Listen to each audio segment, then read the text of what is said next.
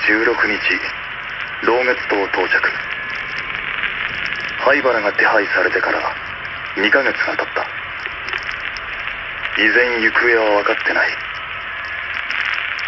明日行われる老月神楽はこの島出身の者にとって特別な意味を持つ祭りだという情報にかけてみる。灰原がこの島に渡ったという証言はまだ取れず本部は動かない。